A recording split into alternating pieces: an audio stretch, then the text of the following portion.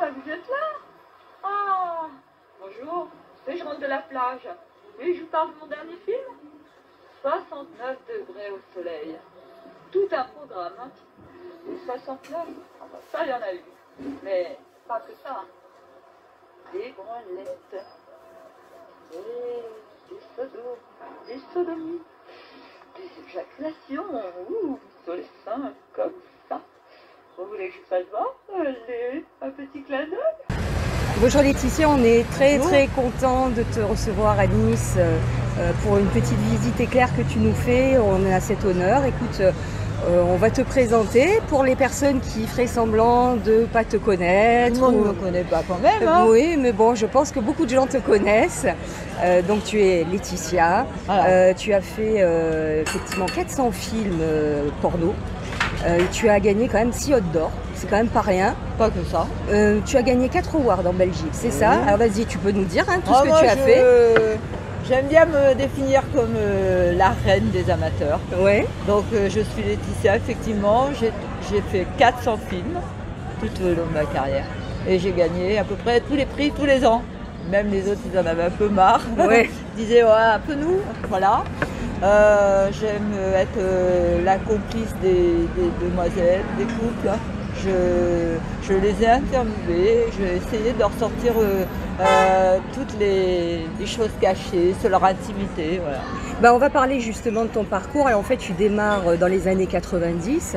En fait tu as inventé clairement le cinéma amateur. J'ai inventé le cinéma amateur filmé par une femme. Tout à fait. Avec un regard de femme. Tout à fait. Dans un milieu qui n'était que d'hommes. C'est ça. Et j'ai sillonner les routes euh, pour, euh, avec ma caméra pour aller rencontrer les gens chez eux.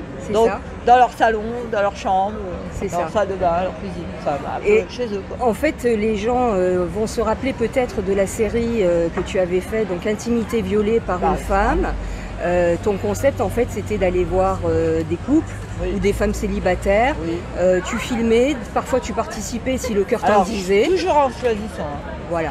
Aucune obligation. Bien sûr filmer, s'approcher, caresser comme ça, s'éloigner un peu, et puis parfois euh, filmer même en faisant. Voilà, tout à fait. Ben, alors, ce qui était très rigolo, c'est que tu faisais raconter les fantasmes euh, de ces couples. À tout. Euh, Je fais tout raconter moi. Et quelque part, tu étais un peu coach, on va dire, coach de ces couples hein, d'une certaine manière.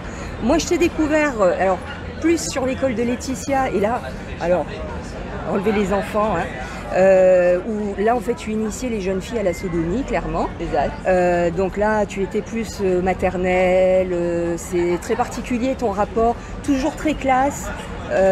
Moi, ça m'avait marqué à l'époque, donc je dois, te le dire hein, quand même. Je c'est, je sais pas s'il y a beaucoup de femmes qui te le disent, mais en tout cas, moi, je me rappelle très, très bien de toi. Est-ce que tu t'étais dit, je m'y verrais bien Ouais, je sais pas. je, me suis pas posé la question. Peut-être bien, peut-être bien, à savoir. Je sais pas. En fait, l'idée, c'était c'était de continuer la rencontre d'intimité violée et de, les amener à se dépasser, mais en leur montrant euh, que tout est plaisir, pas dans aucune brutalité. Tout à fait. Alors ce qui est très drôle, c'est que je dis attention aux enfants et que depuis tout à l'heure, il y a un enfant qui passe. Donc voilà, c'est les aléas de la vidéo. C'est vrai. Euh, alors bon, ce qui, t'a euh, je pense, permis de te faire vraiment connaître, c'est qu'en fait, tu as été remarqué par le programmateur de Canal+, oui, euh, qui s'appelle Henri Gigou. Euh, qui vend en toi en fait dans, Intimité violée un témoignage riche pour les historiens futurs sur les mœurs actuelles, le comble du voyeurisme qui consiste à faire un trou dans la cloison de ses voisins et d'épier leur ego au quotidien. C'est génial. Donc euh, hein, je pense qu'il a très très bien résumé la chose. Euh, Henri Gigou était un super ami et c'est vrai qu'il venait et il était très impressionné de, de voir tous ces couples qui étaient novices et qui arrivait à se lâcher, à me raconter tout. Et c'est vrai que tu as eu un succès fulgurant. Oui. On peut dire ça. Je Mais j'ai toujours dit que j'étais assez culottée pour déculotter les Français. Ah, c'est une très belle image. Ah très bien ça. très très bien. Mais c'est vrai que moi je pense à mon sens que tu es euh, aujourd'hui euh, l'actrice porno française la plus connue et qui a fait le plus de choses. Parce qu'en plus tu as lancé énormément d'ardeurs et d'ardeuses. Oui, oui. Euh, des garçons et des filles. Voilà, tu, tu as contribué à tout ça. Euh, je pense que tu as démocratisé euh, le porno aussi, même pour les femmes. Même ceux que je filme pas me demandent des conseils. C'est rigolo Ah oui, quand même. Encore aujourd'hui. Oh mademoiselle ou madame, oh madame Laetitia, est-ce qu'on peut savoir comment on fait ça?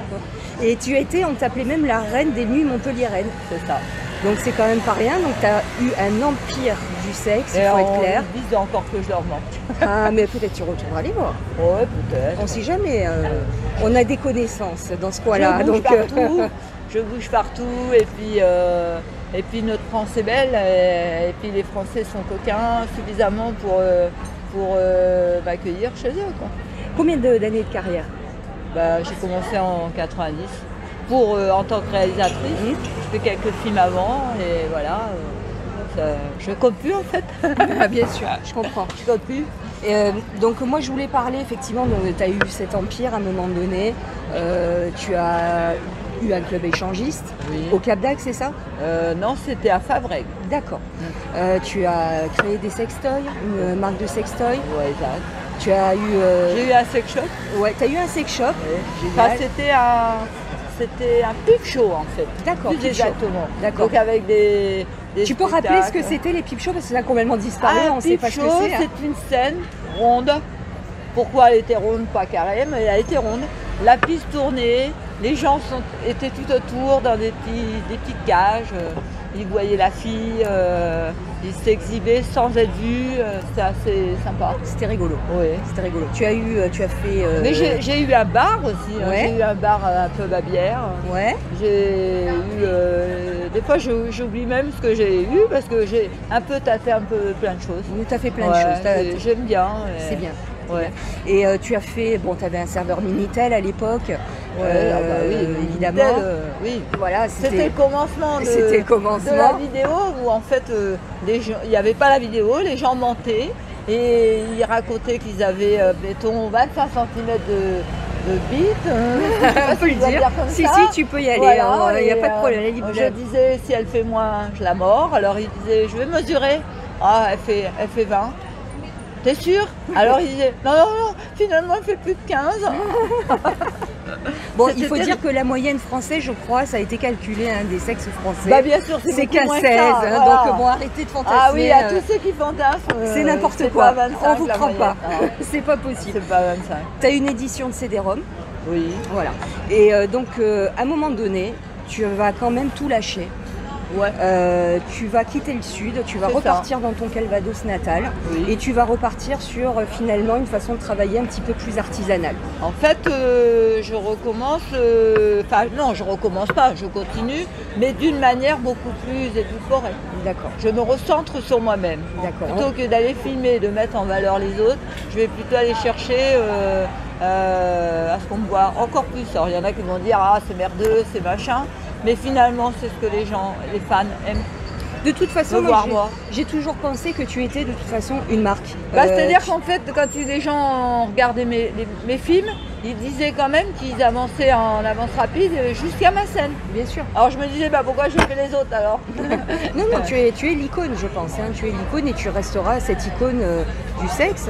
Euh, Bon, j'aime quand même euh, rencontrer des petits couples sympas. hein. Bah, écoute, tu vas pas Si te. je peux vous filmer, euh, je le ferai.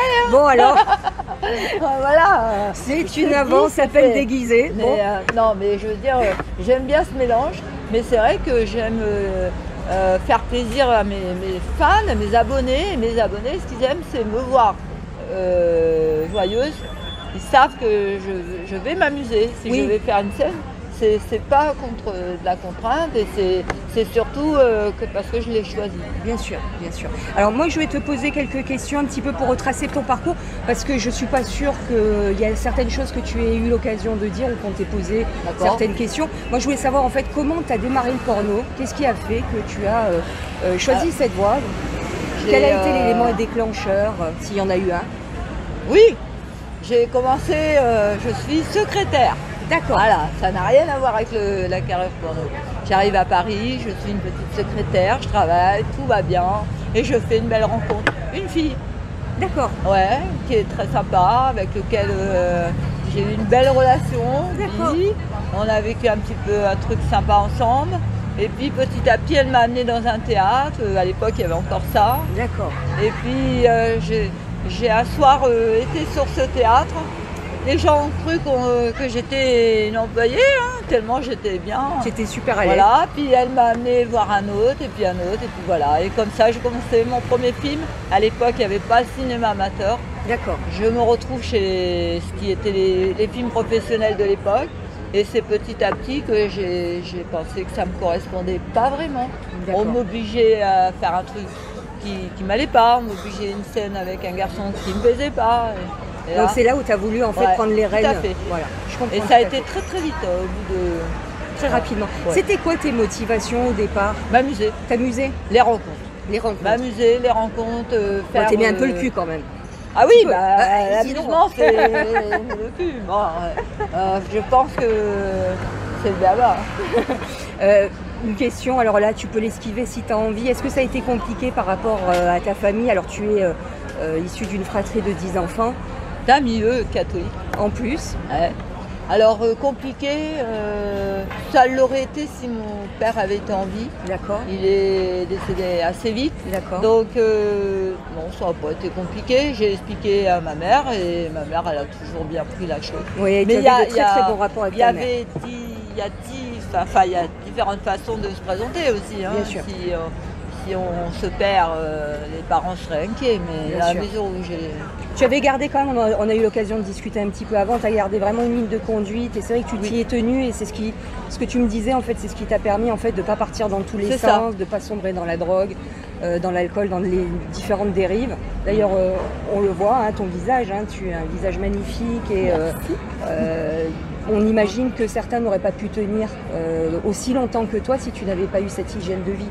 Euh, Je suis euh, un peu sportive. Bien sûr, moi Bon, je sais que euh, tu marches tous les jours. Voilà, je fais, marche euh, tous les jours. Bah, pas, pas, euh, pas de la surenchère non plus, hein, quelque chose de, de normal, de quotidien.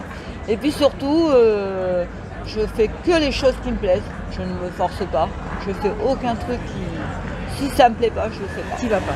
Voilà. Euh, alors Laetitia, est-ce que tu pourrais nous dire quel est ton meilleur souvenir et ton pire souvenir de, de cette carrière euh, dans le X Est-ce que tu as gardé des, des moments un peu stratégiques?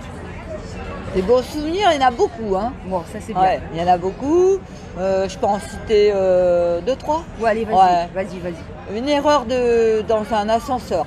Je monte dans un ascenseur, je vais pour aller filmer un couple et le couple monte dans l'ascenseur et je commence à les chauffer direct dans l'ascenseur, sauf que je me suis trompée de couple.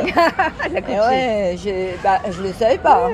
C'est au moment où je rentre dans l'appartement, je commence à poser des questions que je me rends compte de mon erreur.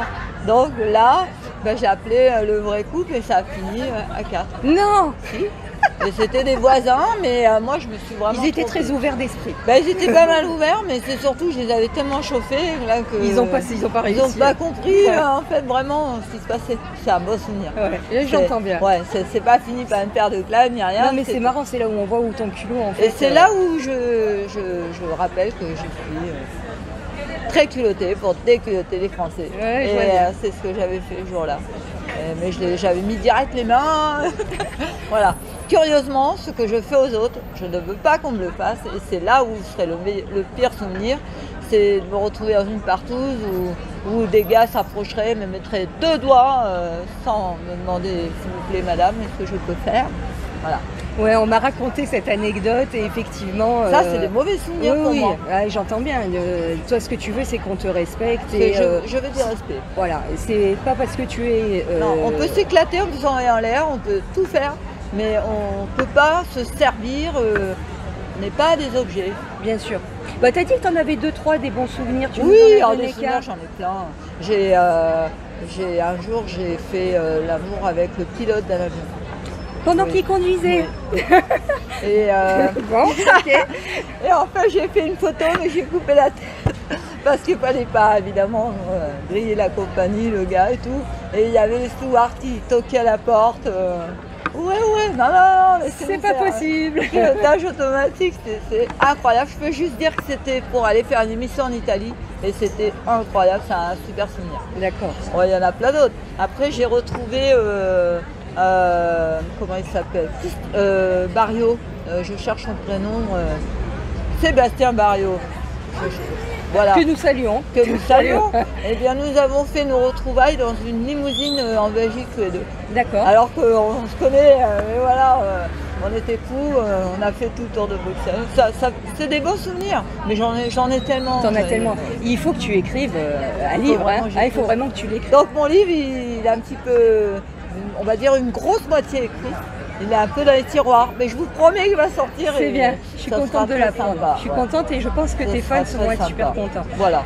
Euh, ma prochaine question, c'était est-ce que tu as envie de démonter euh, des clichés euh, qu'on peut avoir dans le sexe? Alors, il y a pas mal d'actrices porno qui ont essayé un petit peu d'expliquer que, par exemple, le sperme, c'était pas vraiment du sperme, c'était du gaviscon. Alors, je sais pas, tu es peut-être de la vieille époque où c'était. Ça se passait euh, tout à fait naturellement. Mais euh, les actrices porno maintenant d'aujourd'hui disent souvent que euh, ça reste du cinéma. Est-ce que tu es d'accord avec ça? Je suis d'accord sur rien, moi. Je suis D'accord. sur rien dans la mesure où euh, j'ai toujours fait un, un- un porno plaisir. Donc à partir du moment où je, je kiffe un mec, je vais pas lui dire attends ça c'est la scène de sperme, j'en veux pas, machin. Si je, je kiffe le mec, Tu fais. je le fais.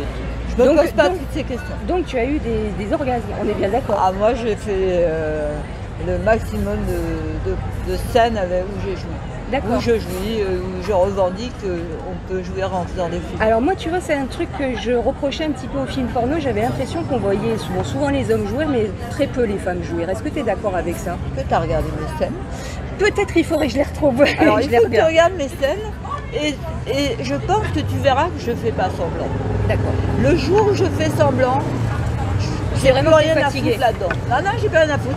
Parce que justement, puisque je vais choisir le garçon, puisque je vais choisir la scène, puisque je vais choisir un couple, bah, si je fais semblant, euh, c'est que j'ai j'ai pas choisi. Bien sûr. Mais dans la mesure où j'ai toujours choisi, j'ai toujours vu.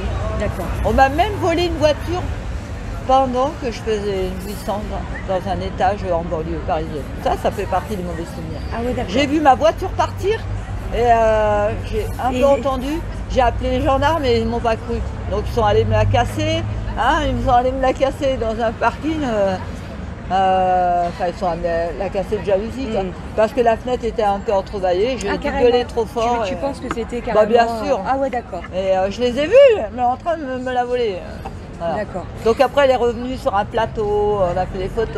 euh, mais bon, il n'y avait plus de voiture. Ouais. Et euh, je voulais te demander pourquoi tu as arrêté en pleine gloire finalement? Bah, Parce que tu étais vraiment au sommet là. oui, c'est vrai, euh, c'est vrai. Bon, il y a eu des événements. euh, ma grossesse euh, m'a changé. Un enfant, euh, une maman, euh, ça change une vie. Et euh, le besoin de, de se recentrer un peu sur soi-même. Sans... Mais je regrette absolument rien. Je regrette rien de la gloire où euh, on peut plus, on n'aurait même pas pu être à table Mm. tellement euh, tout le monde euh, ça aurait été l'émeute. Bien sûr. C'est compliqué aussi. Je- je- je- J'ai adoré, mais il y a un moment, j'ai besoin de pouvoir aller faire mes courses sans, sans craindre pour ma sécurité. Bien sûr. Et euh, tu m'as avoué tout à l'heure que ton fils, justement, tu n'avais pas voulu l'élever en fait dans, cet univers-là. Moi, j'avais trouvé que c'était intéressant que tu nous en parles un petit peu. Euh, C'est-à-dire que je, je voulais d'abord que mon fils euh, ait une vie normale. Mais en fait, avoir une vie normale, c'est pouvoir euh, aller à l'école, avoir une éducation comme tous les enfants. Quoi. Mmh, Et l'idée d'avoir euh, un décor euh, très kitsch avec euh, des bites partout, des sextoys, des machins, je voulais pas de ça. Donc j'ai voulu protéger. D'accord. Et il s'en est plutôt pas mal bien sorti. Bah, mon fils. Et t'es très fière, mon fils, j'en très fière. très fière. Ouais, tu as bien raison. J'en suis très fière. Il réussit bien. Mais en même temps, j'ai eu une période où on mangeait au restaurant, cette période-là, où les fans arrivaient, demandaient des autographes. Et mon fils, il avait 4 ans, il, Mm. faisait, il mettait les bras comme ça, et il disait C'est ma maman, euh, Ouais, attends. Il était très protecteur, Ah c'est normal. Le fils avec sa maman, c'est Mais normal. c'était très drôle parce que en fait les, les, ab- les fans ils se mettaient le petit coin de table, ils disaient je te rends ta maman et, ils faisaient l'autographe. Ouais, c'est marrant. Euh, avec ton, ton expérience, euh, avec ta belle carrière, est-ce que tu encouragerais aujourd'hui une jeune fille ou un jeune homme à se lancer euh, Ah, je lui dirais de passer par moi, hein, ça c'est important. D'accord, le message est lancé. Rendez-vous hein. chez Laetitia pour commencer. Non parce que je pense que euh, alors, je pense qu'il y a quand même des, des mauvaises euh, Fréquentation, enfin. fréquentations. Et je pense que quand on a euh, 20 ans, Rappelons qu'il faut avoir 18 ans minimum. hein. Mmh. Euh, c'est bien de le rappeler. C'est bien de le rappeler. Et surtout, quand on démarre, qu'on est jeune, je pense qu'il ne faut pas aller se perdre chez des productions euh, euh, De- que nous ne citerons pas, que mais nous ne citerons pas, mais il ne faut pas se perdre et il faut surtout être fier de ce qu'on fait. Et moi, chez moi, euh, on- n'a pas honte parce que en fait, euh, je valorise les couples que je filme bien sûr. et c'est important. Et donc, tu le fais d'ailleurs toujours maintenant avec les je couples valorise toujours les couples que je filme. J'en filme moins, mais je valorise toujours et je réponds toujours à, des questions de, jeunes femmes qui, veulent euh, avoir euh, euh, des idées sur, sur comment porter lingerie, sur comment faire une fellation à son mec. D'accord. Je suis toujours généreuse pour ça. Bah, c'est bien, écoute, Ouais. tu apportes de ton expérience euh, euh, quelque chose de positif. euh, Voilà, ça veut dire disant- que tu aimes les gens, quoi, voilà, tout Bah, j'adore les gens, bah, j'adore bah, j'adore que ceux qui sont sympas, hein, évidemment, hein, les cons, je les oublie. Mais voilà, j'aime bien les gens, j'aime bien les rencontres. Et puis dans les films, ce qui est intéressant, c'est de partir avec, euh, on ne sait pas avec quoi, avec rien, une page blanche, et puis d'arriver à la sortie avec une fille qui arriverait par exemple en, en col roulé, puis à la fin, euh, à la Walpé, elle s'éclate. ça, c'est super. C'est ce que tu me disais tout à l'heure, en fait, tu prépares rien. Non, en fait, c'est- tout au feeling. C'est tout au feeling. J'ai jamais rien préparé. Et parce que si on prépare, ben, les gens ne sont plus naturels. Euh, je- si je fais faire une scène, euh, le, le gars rentre dans une cuisine et il va voir sa femme et puis il commence à, à se, se mettre. C'est pas oui, bon. c'est c'est fini. Voilà, il faut juste euh, s'amuser. Bien sûr. Et par contre, l'amusement, au moment, moi je me souviens un, un bon plan avec un, un facteur, et le lendemain il est revenu. Et là, ça va pas du tout. Quoi. Moi, je me suis éclatée une fois avec ce gars, et le lendemain, tu reviens pas. quoi. D'accord, pour toi, c'est quand même carré. Ah euh, bah oui, parce que le lendemain, j'ai plus envie. Le là. cofacteur, il était, hein, il était peut-être tombé amoureux. Ah mais il est revenu avec un bouquet de fleurs et tout. là. T'imagines pas la chance. Ça, oui, mais ça, c'est... oui, C'est mais ça, ça va pas. D'accord. bon. Ça va pas, ça, ça va pas, sauf si moi j'avais eu envie. Mais à partir du moment où j'ai j'ai plus envie, parce que je me suis bien barrée, au suivant. D'accord, au suivant. Message reçu. Euh, Est-ce que tu as gardé des vraies amitiés de cette Oui. époque-là? Ah, j'ai gardé des vraies amitiés, j'ai même été euh, dans des mariages, euh, dans des baptêmes, voilà. Donc ça veut dire qu'on peut quand même. oui. Alors il y a des gens qui ont, il y a des couples qui ont tourné la page complètement, je respecte. euh, Peut-être le jour où voilà. ils ont eu des enfants Ils ont eu des enfants ou même avant, mais euh, non parce que j'ai filmé des couples qui avaient des enfants et qui me présentaient à la belle-mère, à la grand-mère. Ah ouais, d'accord. C'était très drôle ça. ça c'était très drôle. Comme si j'étais de la famille quoi. Oui, Et, euh, Mais c'est ça, c'est ça ta force. c'est magique parce que justement ça voulait dire qu'on pouvait passer une soirée, une nuit, deux heures et après on s'habillait et on allait euh, en famille. Oui, oui. Mais c'est, je pense que c'est ça en fait ce qui a fait la différence par rapport aux autres, c'est que voilà, c'est ce côté-là, c'était pas euh, c'était vraiment ta nature et C'est euh, ça, c'est pas tu que, as pas joué un rôle. pas que le moment du film où on est en lingerie, où on est à Walpé. On peut, ça, on peut aussi euh, faire autre chose. bien sûr, Et, bien sûr, mais en même temps, c'est un tout. bien sûr. Comment tu gères maintenant ta nouvelle façon de travailler euh, qui est plus artisanale? Est-ce que tu veux nous raconter Donc c'est aussi de Laetitia Mania, donc tu as Oui. des abonnés. C'est amania.com. Point .com. N'oublions pas. Comment je gère? Eh bien, je le gère euh, euh, à mon image, c'est-à-dire euh, cool, détendu. Je travaille chez moi. Je travaille, euh, je vais je- en déplacement pour réaliser les films, pour faire les photos. Et à la maison, c'est mon petit cocon. Personne ne connaît l'adresse, Bien sûr. même pas vous. Et puis, comment je fonctionne Des heures irrégulières. Je suis quand même. là, je bafouille un peu. Euh, c'est un peu atypique. euh, J'aime bien. J'ai pas d'horaire prévu. euh, je Bien sûr, mais par contre, c'est vrai que tu gères vachement bien, vachement, pardon pour mon Ouais. langage très. Je suis régulière. Voilà, tu es quand même Je très. suis très régulière dans, dans mes publications. Je suis très quand même une femme d'affaires. Je suis une femme d'affaires. Ça, il faut pas l'oublier. Oui. Tu sais exactement où tu vas. D'ailleurs, on me, on me le dit gentiment. hein. Ah, Madame Laetitia, les abonnés me disent ça. Et donc, en fait, les avantages de tes abonnés, donc c'est qu'ils ont la possibilité donc d'avoir accès à tous tes contenus. Et de temps en temps, tu choisis d'aller en Voilà. rencontrer.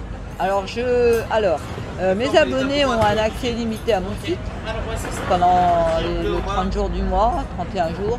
Et surtout, je pioche dedans et je dis, si, si je suis dans ta vie, je vais te rencontrer.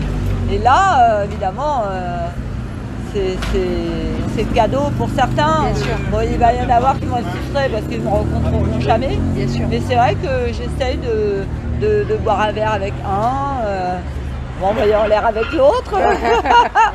Euh, ça, Voilà, en fonction de l'attraction du moment. Ouais, le- c'est, ouais, ça dépend Et du puis, physique. euh, voilà, puis Ça effectivement- dépend comment je suis née. Bien sûr. D'ailleurs, on me demande souvent comment je choisis. Bah, je pense que tu n'as pas de réponse à ça. Et voilà, j'ai pas de réponse. Parce Et que- je dis souvent, bah, en tout cas, c'est pas la taille, parce que ça, je m'en fiche, parce que je le sais pas forcément. Laquelle de taille Pardon. Non, mais bon.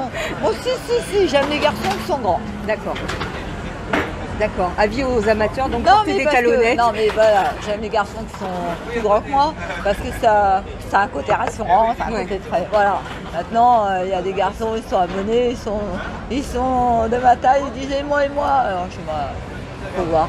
Bah, après, c'est comme le principe des sites de rencontre. Mais hein, tant qu'on n'a pas rencontré la personne, tu as une photo. euh, Non mais il faut quand même préciser que je ne vais pas rencontrer tout le monde. Ça, c'est pas possible. ça reste et ça restera impossible. Mais par contre, euh, comme je bouge beaucoup, ben, j'aime bien m'amuser. Donc euh, pourquoi pas vous hein? Pourquoi, euh, Deux fois, elle l'a dit. Ah. je Non, crois que c'est un message. Je, je veux dire que il n'y a rien qui est impossible. Bien sûr, bien sûr, Même des fois euh, dans l'imprévu. bien sûr, tout à fait. Et euh, alors moi, alors là, cette question, moi, je, je trouve qu'elle est intéressante. Euh, J'aime bien me lancer des fleurs, moi aussi, écoute. hein. Ah ben. Il n'y a pas de raison. Euh, on n'est jamais aussi Bon, bien servi que par soi-même. Voilà. Tu as des Euh. Ah, t'es gentil, hein, vas-y encore. Bon, je, vas-y. je les ai pas Vas-y, encore vus, flatte-moi, euh, Elle a de très beaux seins. Elle m'interviewe, oui, je vois, je suis au niveau de, la poitrine, quoi. Écoute, Sympa. euh, profites-en. Comment euh, vois-tu les courants féministes d'aujourd'hui en sachant que quelque part tu es pornocrate? Alors, avant que tu répondes, je me permets de donner mon appréciation. À mon sens, à l'époque, pour moi, tu es une féministe, clairement. Euh, Pour l'époque. Pour l'époque. Maintenant, aujourd'hui, clairement, je pense que tu te ferais taper sur la gueule. hein, Oui, il faut être peu. clair. hein. Euh, Qu'est-ce que tu en penses toi? Comment tu l'as vécu ça? Je pense que quand j'ai démarré, je me suis pas posé toutes ces questions déjà. Bah, on les posait pas, je crois. On s'en posait pas trop. pas super à la mode, c'était pas une mode. Mm. Aujourd'hui, on rentre quand même dans une mode. Ouais. Plus on tape sur les mecs, plus on, plus on Voilà. a l'impression qu'on est dans le courant. Moi, j'avoue, les garçons, je les aime bien. hein. bon, voilà, je n'aime pas les cons, euh, personne n'aime ça. Mais euh, revendiquer que je suis féministe, machin, non, je, c'est pas trop mon truc. Bah, Dans la mesure où je pense que tu respectes les gens, que ce soit des hommes ou des femmes, euh, pour moi, il n'y a pas de raison de revendiquer une forme de féminisme. Le tout, c'est d'être bien dans ses baskets. Moi, souvent, quand je vois des féministes qui veulent à tout prix me convaincre avec leur discours, Ah je leur oui. dis écoutez, moi, je suis une femme, je n'ai pas besoin de me revendiquer féministe. Donc, euh, il n'y a pas de souci avec ça. je pourrais être, euh, je pourrais être euh, féministe dans le sens où euh, j'ai élevé mon garçon toute seule. Je pourrais dire, euh, ouais, vous avez vu, non, même pas, parce que voilà, je l'ai fait naturellement. Bien sûr. Euh, en fin de compte, euh, j'ai fait un peu ça. euh, Tu t'es pas posé de questions, tu sans as suivi ta ligne C'est peut-être pour ça d'ailleurs que ça coule tout seul, quoi. Bien sûr. Mais, Mais bon, derrière, ça euh, celle qui, la mode aujourd'hui est un peu en train de nous abîmer, hein, nous On les est bien- femmes. On est bien d'accord. Parce qu'à force de, à force de, de dire que tous les mecs sont, Sont des salauds qu'il faut assassiner, Oui, bon, et voilà. puis, euh, je veux dire, il n'y a plus le droit à la séduction. Moi, j'aime bien me faire draguer, hein, je, je dis la vérité. Euh, croiser un trottoir et me dire euh, t'es belle, enfin, vous êtes belle, parce que j'aime le vouvoiement. Mais vous êtes belle, vous êtes sexy. Et, et surtout dans le sexe, hein. ça c'est un scoop que je Et donne. même quand je. Même quand Elle je aime bien ça, vous voyez. bien qu'on me vous voit. Et surtout quand on me dit est-ce que la sodomie c'est possible, l'âme, avec le vouvoiement. Alors là, c'est top. Voilà. Mais, Je donne des tuyaux, hein. mais traverser un trottoir, se faire euh, draguer, si c'est fait poliment, euh, avec humour, bah, je kiffe. Ouais. Et le jour où on va plus avoir ça, mais on va. Qu'est-ce qu'on va être triste on va perdre tout. Hein. Va Euh, je suis en train de boire un verre. Il y a un garçon à côté, je suis toute seule, il m'invite à boire un verre, mais moi j'y vais quoi, s'il me plaît. Bien sûr, Où est le mal? Bien sûr. Alors si je dois quand même calculer qu'il va me violer, machin, qu'il va me manquer de respect, alors là c'est moche quoi. Bien sûr. Moche. Bon après tu prends tes, euh, tu, tu nous as expliqué quand même que tu faisais très attention. Je suis euh, quand même. euh, Tu sécurises, hein. Alors je sécurise à mort. je pars avec ma voiture. je ne monte pas dans la voiture des, des garçons que je ne connais pas. Donc je, ramène ma, je me ramène avec ma voiture. C'est-à-dire que je peux m'envoyer en l'air, mais si je dois revenir, eh ben, je vais partir et je, je sais ce que, combien de verres je peux boire. euh, Bien sûr. Je ne couche pas. D'ailleurs, je ne dors jamais avec un garçon. D'accord. Ah, ça, c'est un truc par contre. D'accord. C'est très intéressant. Je, je baise à n'importe quelle heure de la journée, mais je rentre Mais chez tu t'en moi. vas. Et effectivement, tu me disais Non, que le fait que en fait, tu rencontres que tes abonnés et pas des gens qui viendraient te contacter. Le euh, fait de rencontrer mes abonnés, c'est le fait déjà de- d'avoir fidélisé les gens et surtout d'avoir leur identité Bien quelque sûr. part dans mes tablettes, même si je l'écris nulle part pour Évidemment. pas que je respecte leur vie privée aussi. Mais voilà, c'est une manière de, de pouvoir euh, euh, sélectionner. Une question tiens, qui me vient que j'avais pas pensé euh, te Ouais. poser. Est-ce que ça t'arrive de rencontrer des hommes mariés? Comment tu pourrais réagir dans ces Je situations-là? ne fais qu'emprunter. je, ne, je ne- Parce que j'imagine que ça doit arriver. Beaucoup d'hommes mariés, je rassure les femmes. Euh, c'est pas ma faute hein, si, si elles savent pas faire hein, ou si euh, elles sont un peu en colère après elles. Donc voilà, quand j'apprends qu'ils sont mariés, j'emprunte, mais je rends. D'accord. Donc voilà, les hommes mariés. tu les euh, fidélises pas, ceux-là Non. Bon, on est bien d'accord. De manière générale, ça va plus loin que ça quand même. J'aime pas le savoir quand même. Oui, je comprends. J'entends ça. Parce que mes frères et sœurs sont mariés, j'aimerais pas que. Ça t'arrive à toi, en Ouais, fait. j'aimerais pas qu'on leur Ouais. fasse des misères. Voilà. Bien sûr. J'entends bien. Je De comprends bien. manière générale, forcément il y a des hommes mariés, mais je, Évidemment. je les Tu préfères ne pas Ouais. le savoir. Ouais. Je comprends. Je comprends. Euh, D'après toi, Laetitia, dans quel état est le porno en France euh, avec l'immensité d'offres gratuites qui vont de plus en plus loin, euh, j'ai envie de dire, vers l'escalade vers le dégueu? Qu'est-ce que tu en penses de tout ça? Moi, le porno actuellement en France, ça me triste. C'est pas le, il n'y a pas que le porno, c'est le comportement des gens hein, qui est triste. Le comportement des gens qui veulent avoir tout gratuit, qui veulent tout voir, qui veulent de- voir des, des merdes et qui te disent à la sortie, ça me plaît pas, bah pourquoi tu vas voir alors? Voilà, le porno va pas bien. Les gens, euh, les gens vont, vont, vont trop voir des choses qui, même qui leur plaisent pas. Mais ils te disent, euh, je, bon, j'essaye, c'est là, c'est gratuit. Moi, je fais rien de gratuit. Est-ce que tu as l'impression que justement à force de monter crescendo euh, Ah oui. vers de plus en plus de hard, en fait on, s'insen- on- on se- on se désensibilise quelque part et que on- finalement on va se mettre à regarder euh, des choses complètement dingues Euh, J'avais envie de te poser une question, moi ça m'avait beaucoup troublé, tu vois, j'avais oublié, euh, j'y avais pensé il y a quelques jours, j'avais oublié de la noter. Euh, il y avait eu une étude qui était sortie sur les jeunes. Ah, et, Je suis pas toujours d'accord. hein. alors attends, j'ai pas fini. A priori, les jeunes, à force d'avoir vu euh, Oui. de porno, euh, penseraient qu'en fait la sodomie c'est la version officielle de Ah oui. l'acte sexuel. Euh, moi, ça m'avait un petit peu choqué parce que moi aussi j'ai des ados et euh, je me disais qu'est-ce que tu en penses toi par rapport à tout ça? Alors, tout d'abord, je pense qu'il y a beaucoup de choses qui sont racontées qui ne sont pas totalement vraies. D'accord. Il faut un peu, bon, faut remettre les choses vraies. C'est-à-dire que euh, le porno, euh, on ne doit pas quand même lui taper toujours dessus, dans le sens où les parents, c'est un peu à eux de faire le boulot. On est bien d'accord, mais C'est aux parents de faire le boulot. On Moi, j'ai élevé mon fils et je- dès le départ, je lui ai dit Maman fait du X, tu n'y vas pas. Si tu y vas, c'est ton problème. Je t'interdis pas, je te mets pas des verrous, je te fais confiance. Mm. Voilà comment j'ai expliqué. Donc, je pense qu'il n'y est pas allé. S'il y est allé, s'en est pas vanté. ça lui a posé problème quand même. euh, tu lui as, tu lui expliquais non, tu, Ah ben j'ai tout expliqué parce que euh, il fallait. il t'était obligé bien sûr. J'étais obligée. euh, si je l'avais pas fait, c'était les autres qui s'en chargeaient. Bien sûr. Donc forcément, il y en a qui s'en sont chargés quand même avant même que j'arrive. Mais je veux dire, on- Les aléas du direct. Ah bah alors là c'est vraiment pas de bol. ben là, faut couper. On continue. Ah, et Bon euh, bah écoute c'est la vie. j'ai oui, j'ai c'est pas direct. vu la scène. C'est direct, c'est direct. D'accord, c'est direct. Donc, euh, pour revenir. euh, Oui donc pour ton revenir, fils, euh, mais certains s'en seraient chargés. Mais non, je, surtout les autres. Parce que le mien, je l'ai bien élevé, j'ai tout réussi. Voilà, je le dis, je revendique.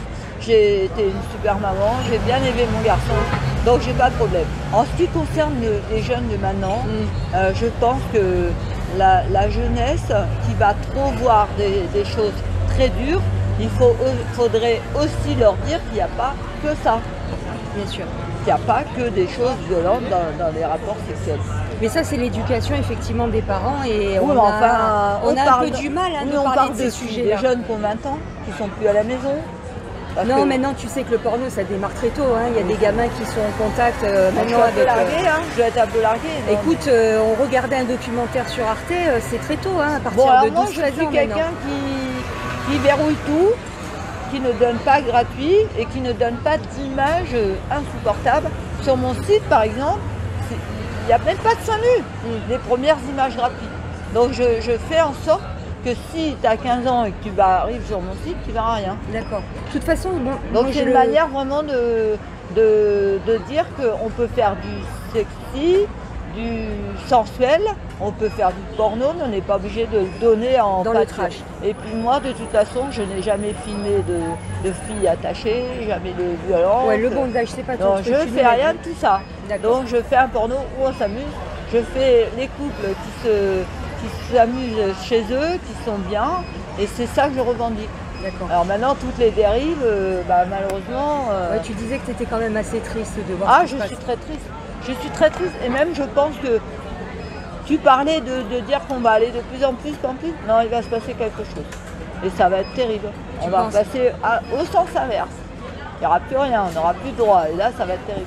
Ah, à tu force penses que les femmes euh, tapent sur les mecs, euh, oui, ces nouvelles lois vont être assez terribles. Oui, mais c'est pas étonnant ce que tu dis, effectivement. C'est-à-dire qu'un prof, un prof euh, qui aura 25 ans, 27, parce qu'ils sont profs vers 27 ans, ils seront obligés de donner un cours, des portes ouvertes et tout. Il y Mais c'est déjà le cas, euh, tu sais. C'est déjà le Moi, cas. je connais ça Et moi, j'ai déjà prévenu mon fils qui veut être euh, prof qu'il faudra surtout pas qu'il qu'il s'enferme pour donner euh, ne serait-ce qu'une explication d'un cours. Mais on en est là. voilà, euh, on en est là. Alors ça, Ouais, c'est terrible. Oui, oui, c'est déjà le cas, je te Voilà. rassure, c'est déjà le cas.